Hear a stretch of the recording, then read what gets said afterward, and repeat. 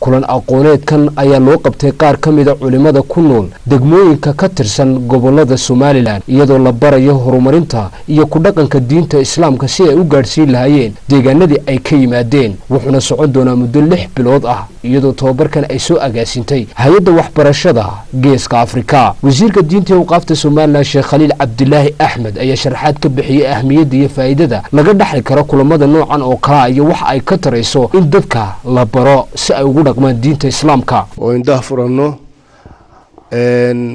tababarkan runtii looga leeyahay sidii loo heli lahaa daaci muslina oo mutqina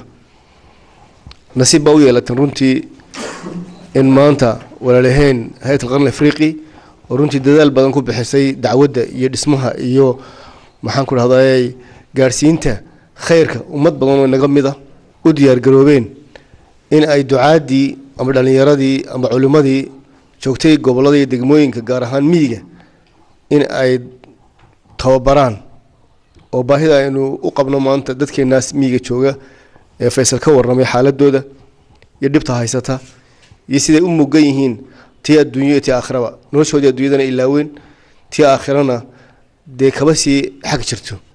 run ahaantii aada iyo aad baan aniguna ugu faraxsanahay. Madaxa mashaariicda ee geeska afrika cabdiraxmaan aadan cige iyo faysal maxamed xasan oo ka tirsan hay'adda ayaa si wada jira u sharaxay faa'iidada kulan aqooneedkani uu leeyahay ee kor loogu qaadayo barashada diinta islaamka. Dowladda markaa hadafkeedu wuxuu yahay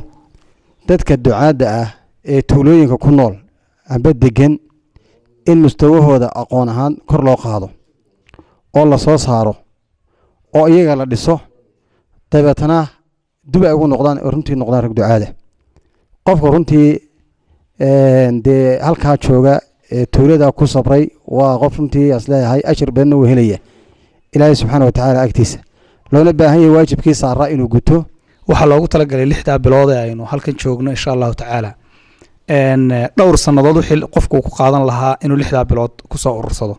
Maadaama lixda biloodba boqol iyo siddeetan habeen ay yihiin boqol iyo siddeetanka habeenba goobtan uu joogayo jimce iyo khamiisba uu joogayo maalintii iyo habeenka afar iyo labaatan saacadood ay yihiin siddeed saacadood hadduu seexdo lix iyo toban saacadood soo harhayaan lix iyo tobankaa saacadood soo hadhay waxaa loogu talagalay.